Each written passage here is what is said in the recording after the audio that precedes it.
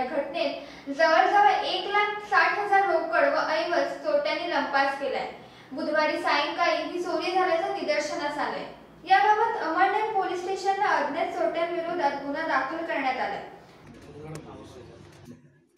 दरम्यान या परिसरात याआधीच आठ ते नऊ चोऱ्या झाल्या आहेत. त्यामुळे पोलिसांनी चोरट्यांना लवकरात लवकर अटक करावी अशी मागणी परिसरातील नागरिकांनी केली. Aadhaar news Mumbai desk. हा व्हिडिओ तुम्हाला आवडला असेल तर असे आणखी व्हिडिओ पाहण्यासाठी आधार